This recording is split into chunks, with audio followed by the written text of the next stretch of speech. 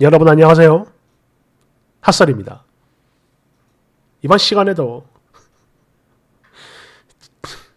정신 나갈 것 같은 그런 사연들 가지고 왔어요. 두 개입니다. 그럼 봅시다. 제목 앞으로 태어날 우리 딸아이 이름을 무조건 신우이로 할 거라며 쌩 난리 치는 시어머니 정신 나간 것 같아요. 첫 번째 사연 원제 강아지 화동 어때 보일까요? 제목 그대로예요. 강아지를 화동으로 하면 이거 어떻게 보이나요? 실은 제가 결혼식을 준비 중인 예비 신부인데요. 제가 키우는 강아지를 화동으로 세우려고 하고 있는 중이거든요. 그런데 남도 아니고 예비 남편이란 사람이 이걸 극구 반대하네요. 이제 결혼식 겨우 두어 달 정도 남았는데 갑자기 이렇게 반대 하는 말을 들었고 계속 반대를 하는데 이유를 물었더니 그냥 하객들 보기에 민망할 것 같다. 바로 이거예요.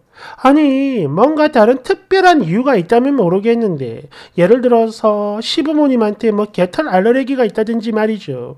그냥 하객들 보기 민망하다. 도대체 이건 무슨 뜻인 걸까요?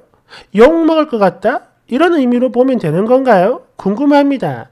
다른 사람들 입장에서 얘기 좀 해주세요. 이게 편집을 하다가 잘렸나 본데 남자는 처음엔 찬성을 했다고 합니다. 예. 그런데 결혼식 두 달 남은 시점에서 반대를 하는 거죠. 뒤에 많이 있어요.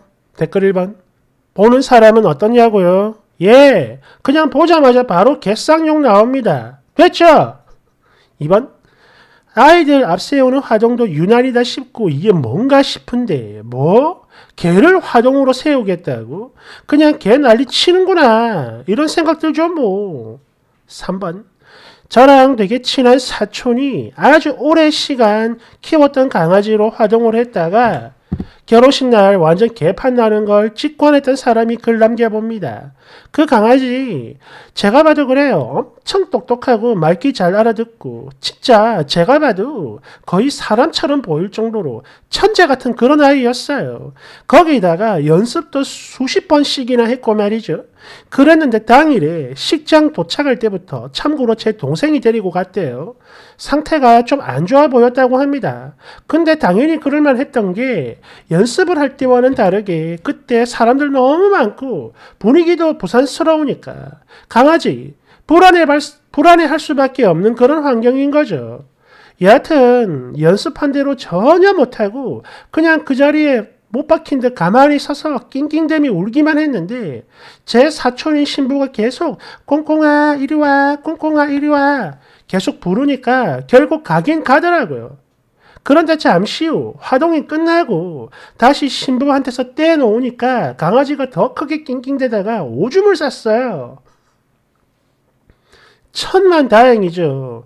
카펫에 싸진 않았는데 그래도 직원들 엄청 당황하고 가족들도 당황하고 신부도 당황하고 직원들 사람들 눈에 안 띄게 한다고 열심히 수습을 하려고 했지만 그게 그렇게 한다고 눈에 안 띌 리가 있겠냐고요.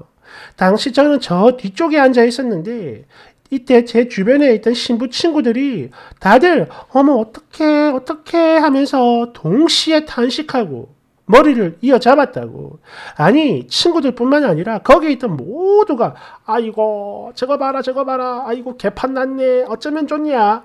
이러면서 신랑 신부가 아니라 강아지만 쳐다보고 있었어요. 뭐, 가족들이 안 되겠다 싶었는지 강아지를 데려 나갔고 수습을 하긴 했는데, 그러면 뭐해요? 식 다 끝나고 밥 먹을 때 뷔페에 있던 사람들 전부 다 강아지 이야기밖에 안 했어요. 물론 이게 좋은 소리를 했다는 건 아니에요. 짐작이 되죠? 특히 나이 많은 분들은 아이고 이게 뭔 개판이고 이러면서 신부 욕했습니다. 그리고 바로 우리 옆 테이블에서 했던 이야기 아직도 기억나요. 내 살다 살다 주객 전도도 아니고 주객 전도는 처음 보네?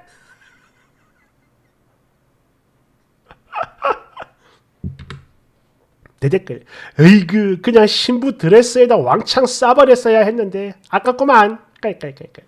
3번 오 강아지 화동이라니 이거 엄청 좋습니다. good idea.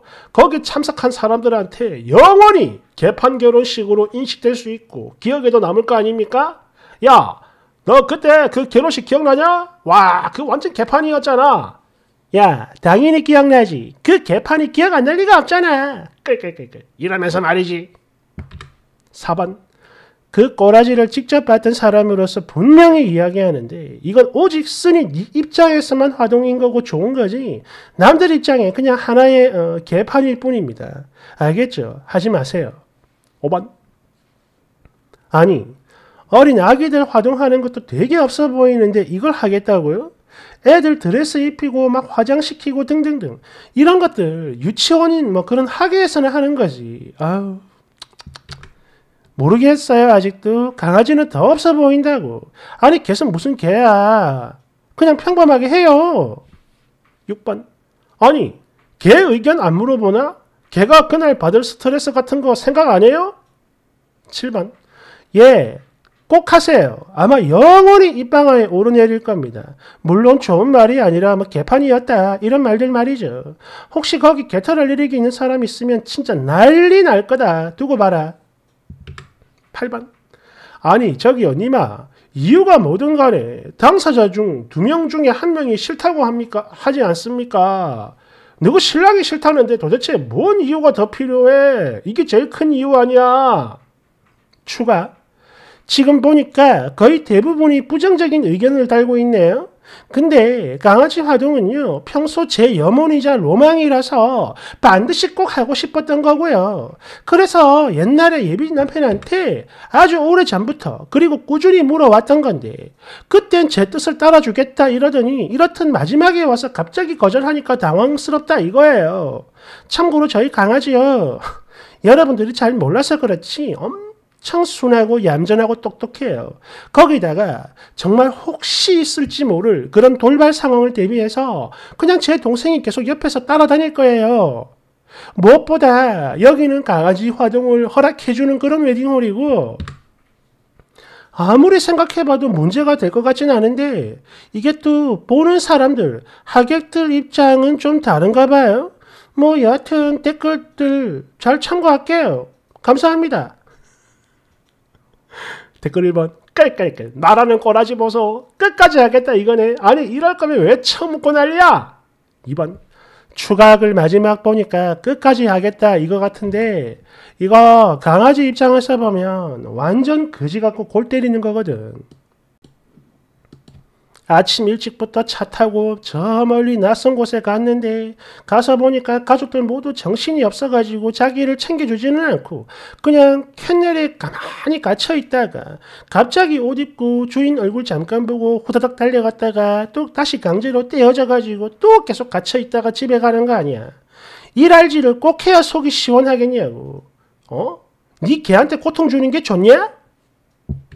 3번 부정적인 댓글이 참 많은데 실제로 이거 크게 기억이 남지 않아요. 근데 여기 댓글들 보면 전부 아유 답답하다 정말. 어디 결혼식 초대도 못 받을 성격들 같은데 신기하네. 대댓글 친구는 네가 없겠지. 그리고 너 쓰니인 거 다 티난다. 깔깔깔깔. 4번 찬성을 하다가 갑자기 이렇게 반대를 하는 건 네 남편 부모들이 싫어하니까 그런 건데 너는 눈치도 없냐? 그냥 지만 좋으면 남들도 무조건 다 좋아할 거라 생각하는 거 완전 개 노답이네. 깔깔깔깔. 5번. 추각을 보니까 있으니 고집 장난 아닌 것 같아요. 아니 이렇게 할 거면 도대체 의견을 왜 물어보는 거야? 설마 다들 네 편 들어줄 거라고 생각을 한 건가? 헐. 6번. 저기요. 정신 나간 생각은 이제 그만하고 그냥 평범하게 하세요. 님은 그게 즐겁고 어떤 의미가 있을지 모르겠지만 남들은 즉 하객들 입장에선 별지랄 다 하는구나. 이런 소리밖에 안 나와요. 좋은 소리가 안 나온다고. 7번. 후기 보니까 결국엔 그걸 할 생각인 것 같네요. 그래요. 네 결혼식이니 네가 하고 싶은 대로 하세요. 다만 청첩장에다가 꼭 사전 공지해야 됩니다. 우리 결혼식에 개 화동할 거라고. 만약 이미 청첩장을 돌린 상태라면 문자 연락이라도 보내요. 그렇게 하면 그게 싫은 사람은 알아서 걸을 거고 물론 저 역시 절대 안 갑니다. 안 갈 거예요. 걔가 좋고 싫고를 떠나서 속으로 염천 떤다고 욕할 거야. 내 댓글 참 피곤하게 산다. 결혼식 주인공은 신랑 신부고 그 신랑 신부 마음대로 하겠다는 건데 네가 무슨 상관이야.